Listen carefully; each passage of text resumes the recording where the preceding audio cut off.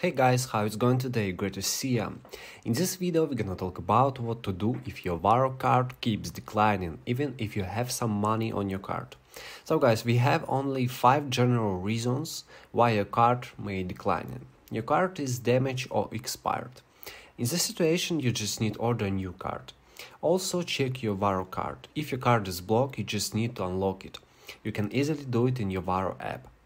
And uh, the common reasons why your Varo card keeps declining is Varo flagged your transaction and merchant won't accept Varo cards. If your Varo flagged your transaction, you just need to write a call to Varo support team and tell them about your problem. If merchant won't accept Varo cards, you can't do anything. Just try to buy something in other stores or transfer money from Varo to another bank account.